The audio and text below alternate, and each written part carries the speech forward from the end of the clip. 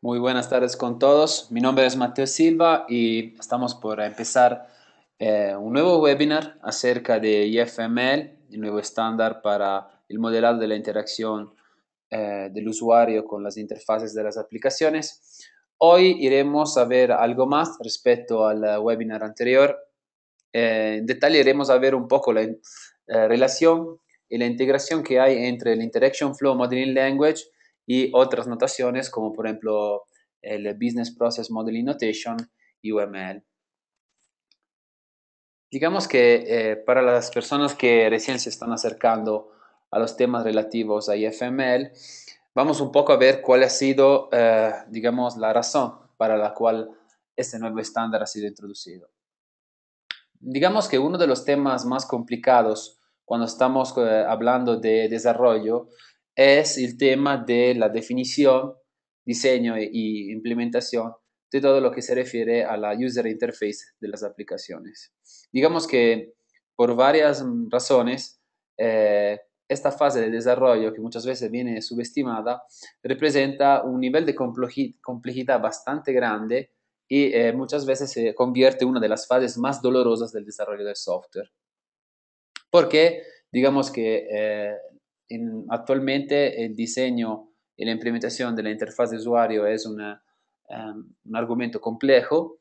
Eh, tenemos tools o herramientas que eh, son rudimentales, excepto algunas eh, excepciones, como por ejemplo, como hemos visto en el otro webinar, WebRatio, y también necesita mucho desarrollo manual.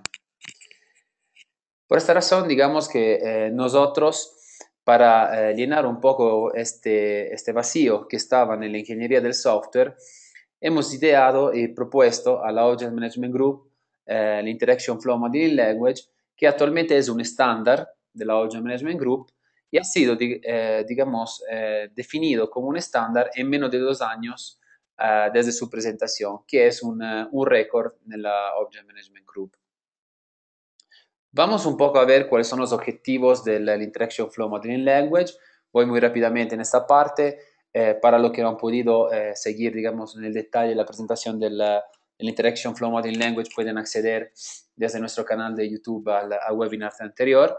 Pero haciendo un resumen, eh, WebRatio es un, digamos, permite de trabajar con esta notación cuyos objetivos son la visualización de los contenidos y de las interfaces de usuario, o sea, cómo voy a representar ese tipo de conceptos, eh, modelar los patrones de navegación o de interacción, eh, digamos, eh, de la aplicación y también definir cómo los eventos tienen que ser manipulados una vez que estos son generados por el, por el usuario del sistema o por el mismo sistema y también eh, definir toda la relación que está entre la capa, digamos, de eh, eh, interacción de usuario y la lógica de negocio y las capas de persistencia.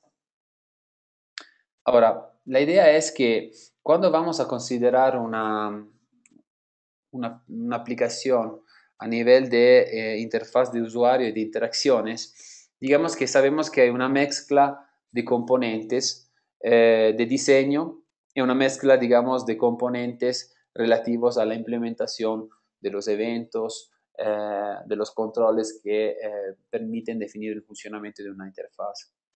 Nosotros definimos como la view part, o sea, el frontend de una aplicación, como un conjunto de, eh, de componentes que permiten contener los, digamos, los, los contenedores de, la, digamos, de la, la información, definir lo que son los eventos que permiten la interacción con estos componentes y también todo lo que es la interacción que estos componentes tienen entre ellos y que los mismos tienen con eh, los usuarios.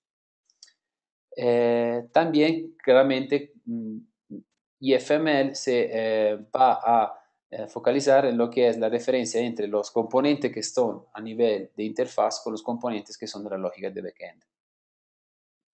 Entonces, eh, ¿Cuáles son los aspectos cubiertos por IFML? Primero, la posibilidad de crear eh, diferentes vistas eh, para la misma aplicación. Por ejemplo, pudiéramos crear una aplicación que con tiempo eh, pueda ser representada como una aplicación mobile, una aplicación, por ejemplo, que se consuma mediante un navegador web o una aplicación clásica de escritorio. Eh, podemos eh, claramente determinar cómo se hace el ingreso de la, de la, información mediante las interfaces, por ejemplo, concepto de formularios. Los componentes del estándar son totalmente independientes de los widgets o de las tecnologías que actualmente están eh, digamos, en el mercado para la implementación de la interfaz de usuario. Y eh, además lo que va a cubrir son todos los conceptos eh, de cómo se define el flujo de interacción que, digamos, mm,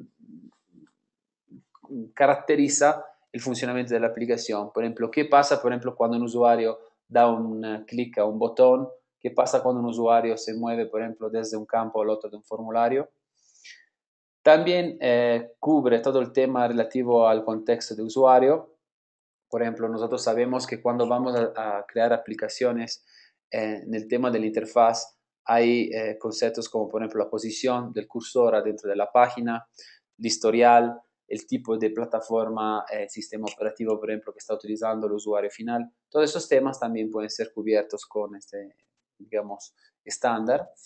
De ahí tenemos todo el concepto de modularidad, es decir, todo lo que yo creo con una aplicación, eh, en una aplicación definida mediante eh, la notación IFML, lo puedo volver a reutilizar. También viene contemplado el tema relativo a la validación, en cuanto, por ejemplo, eh, es posible definir controllers sobre la validación de los datos que el usuario ingresa. Vamos a ver un poco cuáles son los elementos principales o componentes principales de IFML.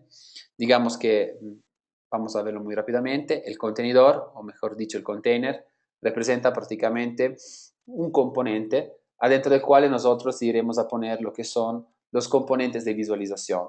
Por ejemplo, si estamos haciendo una aplicación de escritorio, un container puede ser, por ejemplo, eh, una ventana. O si estamos hablando, por ejemplo, de una aplicación web, un contenedor puede ser representado, por ejemplo, con una página web.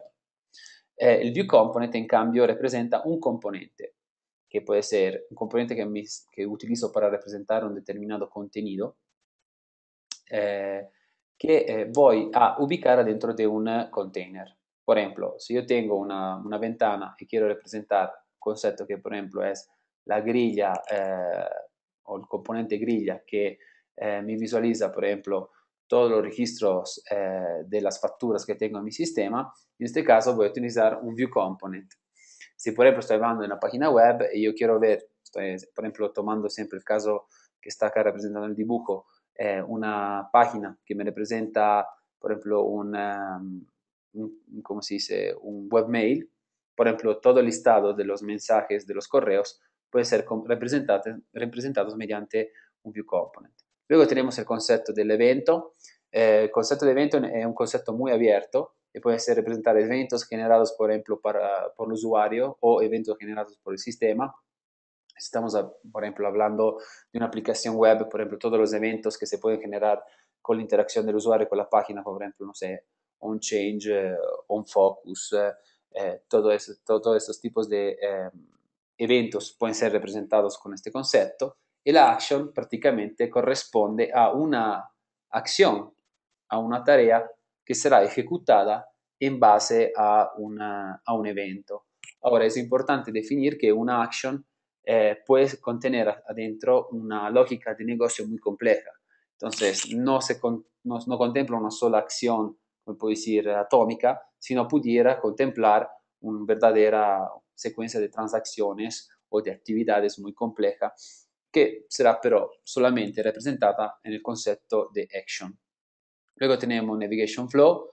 Los Navigation Flow son el flujos que permite determinar, por ejemplo, cuál es la interacción, o mejor dicho, cuál es el flujo de interacción que eh, iré a diseñar dentro de la interfaz. Por ejemplo, desde un evento puede salir un evento de navegación que representa, por ejemplo, la acción que un, un usuario da un clic a un link eh, de una página.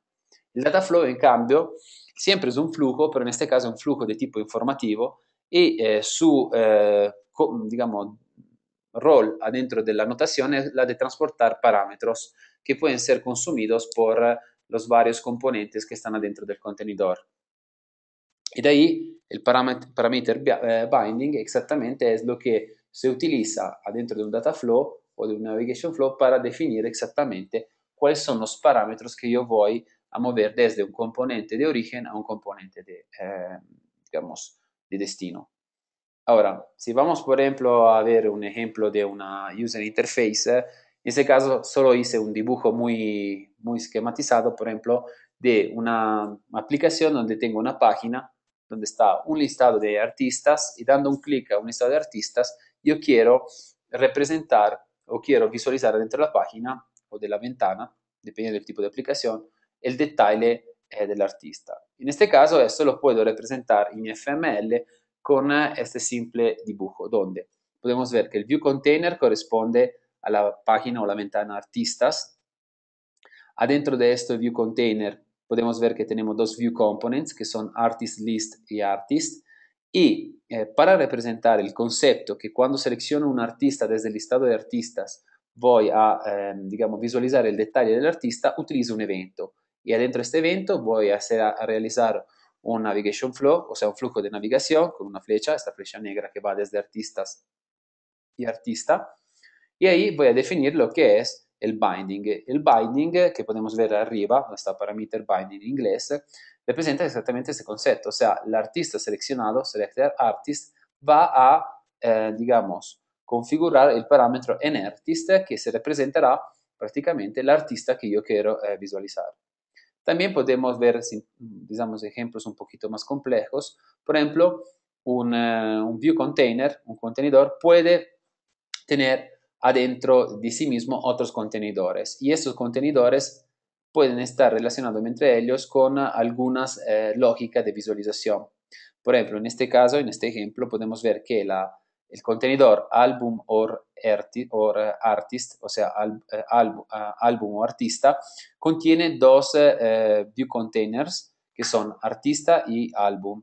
Y como podemos ver, el concepto que eh, voy a poner como XOR, como una meta, digamos, una definición, un tag que voy a agregar al nombre del objeto que representa el view container, voy a poner el concepto de exclusividad, es decir, que cuando yo entro en el contenedor que es álbum o artistas, iré a tener acceso solamente a una de las dos páginas y el acceso a una de estas dos páginas será definida en base al evento que se va a generar en el eh, view component artist album list, es decir, que en base al evento que me manda a una página artista o al detalle de un álbum, una de las dos páginas será, digamos, visualizada.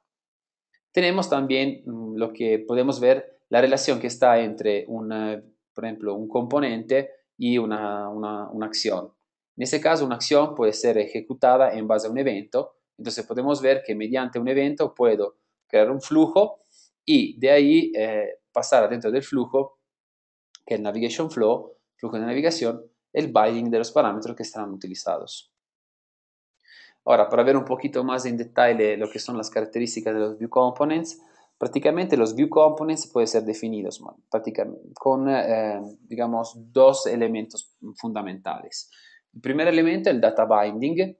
El data binding lo que me permite definir es cuál es la fuente, o mejor dicho, cuál es el esquema de los datos que yo iré a utilizar para poder representar el mismo, eh, digamos, eh, el mismo concepto, por ejemplo, en este caso eh, de message.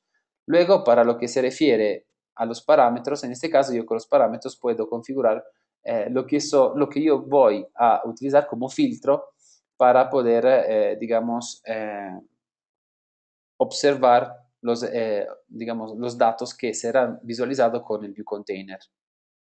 Ahora, el data binding en este momento permite de relacionar prácticamente un view container con un diagrama de clases y hacer un mapeo eh, directo entre lo que es la propiedad de una clase, que son prácticamente los, eh, digamos, los atributos que representan un determinado concepto, y eh, puedo mapearlos con lo que son, en cambio, los parámetros que voy a visualizar adentro del view component. Eh, estamos en una fase de implementación donde el data binding podrá ser realizado también por, eh, con un binding directo con eh, el modelo de entidad de relaciones. Em, o veremos con otro tipo de ontologías. Para lo, que se, para lo que se refiere al comportamiento dinámico, digamos que se, se, realiza un uso, un utilizo conjuntos con otros lenguajes de modelado. Por ejemplo, para representar cómo se ejecuta, cuál es la lógica que representa una action, una acción, podemos utilizar, por ejemplo, eh, los métodos de una clase UML o podemos también eh, relacionar una acción a, un a diagramas dinámicos en UML, por ejemplo, diagramas de actividad, diagramas de, secuencias y diagramas de estado. Esto porque, eh, como, ustedes, eh, como ustedes ya le estaba comentando, IFML solo se preocupa de la parte de eh, interfaz de usuario y de crear las herramientas para poder crear el binding, o sea, la conexión entre la interfaz de usuario y la lógica de funcionamiento o la capa de persistencia de los datos. Entonces, la solución que se va a implementar será dar la posibilidad de definir las acciones mediante o métodos puros de una clase UML, o si no, eh, se podrá, digamos, definir un, un entero, un, diagrama, digamos, eh, complejo, por ejemplo, de actividades. Ahora, eh, para lo que se refiere a los eventos, eh, los eventos eh, en este caso podrán ser eh, personalizados y eh, una de las características principales de FML es que este, digamos, esta notación puede ser extendida. O sea, yo los conceptos que son core, que lo que hemos visto anteriormente, puedo eh, tomarlos, extenderlos y personalizarlos según lo que es mi necesidad. Por ejemplo, en este diagrama podemos ver que entre los eventos, eh, por ejemplo, selecciono, he creado un icono que se llama Selection Event, o sea, el concepto de seleccionar un ítem dentro de, una, de un índice o Submit Event, que puede representar, por ejemplo, el evento de dar un clic a un botón de, de Submit en un formulario.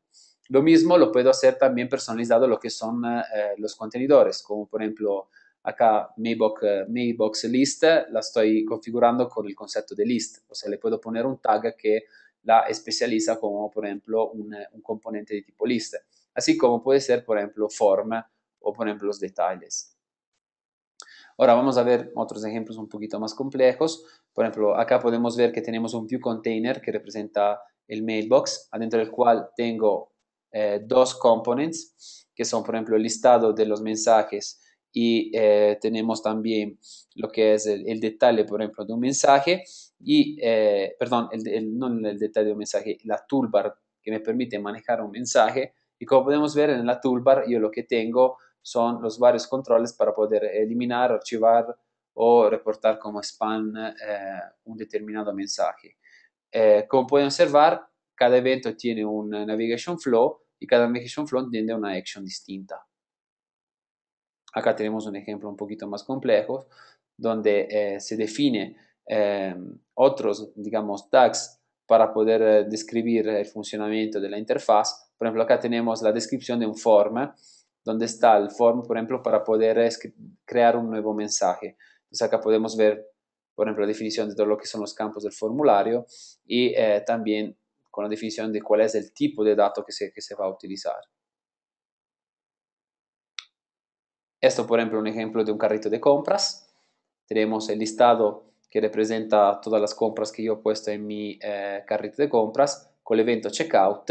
El evento checkout va, hace, digamos, eh, partir un evento eh, de navegación, eh, un evento, digamos, de selección que me permite ejecutar la navegación, donde voy a una nueva eh, página que representa, por ejemplo, la información del, del, customer y así puedo ver todo el flujo, eh, digamos, que representa la interacción que el usuario irá a tener para poder confirmar y comprar, por ejemplo, los ítems que tiene en su carrito de compras. Acá, por ejemplo, tengo la, la acción que execute the, the payment, eh, o sea, ejecutar el pagamento. En este caso no voy a definir en detalle lo que va a pasar, en cuanto esto iré a tener que describirlo, por ejemplo, mediante un, uh, un diagrama, digamos, dinámico de UML, como pudiera ser, por ejemplo, una activity diagram o sequence diagram. Ahora, vamos a ver, eh, digamos, en detalle qué significa integrar IFML con los demás eh, las demás notaciones. Prácticamente, cuando yo estoy abarcando el análisis de los requerimientos de una, cualquier aplicativo, puedo abarcarlo mediante diferentes mm, herramientas de modelado. por ejemplo, yo pudiera empezar desde un use case. En use case yo puedo, mediante siempre eh, las notaciones estándares de UML, definir cuáles son los escenarios de uso, por ejemplo, para mi aplicación. En este caso queremos hacer, por ejemplo, eh, una aplicación para poder reservar un carro y de ahí, mm, digamos, utilizar, reservar un carro en arriendo, utilizar el carro y de ahí eh, manejar todo el proceso que va desde el arriendo hasta el pago. Ahora, eh, en este caso, como podemos ver, en la primera instancia yo puedo representar a un nivel muy abstracto cuáles son los casos de uso, por ejemplo, manejar el, eh, el arriendo, manejar el arrendador y manejar el carro. Eso, por ejemplo, puedo empezar a describir el proceso de renting mediante un BPM process Puedo entrar en el detalle, por ejemplo, describir en detalle cada una de las tareas, qué tipo de secuencia de actividades se van a ejecutar adentro, y esto lo puedo hacer, perdón, eh, mediante también un UML Sequence Diagram o un UML State Chart. Pero lo que ahora vamos a introducir es que también yo puedo eh, definir qué va a pasar adentro de cada una de las tareas a nivel de, interfaz de usuario de interacción mediante IFML.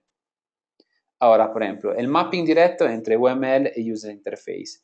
Prácticamente, acá donde está la derecha es un bojeco de cómo tendrá que salir la interfaz. Entonces tenemos una, página o una ventana, tenemos un menú y dentro del menú tenemos un submenú con las varias actividades que se pueden ejecutar. Entonces, por ejemplo, eh, el escenario que es Endole Rental, o sea, manejar una, ¿cómo se dice? Un nuevo, eh, ¿cómo puedo decir? eh, arriendo, tenemos, digamos, diferentes actividades que se van a ejecutar, por ejemplo, New Rental, Change Dates, Asset Payment.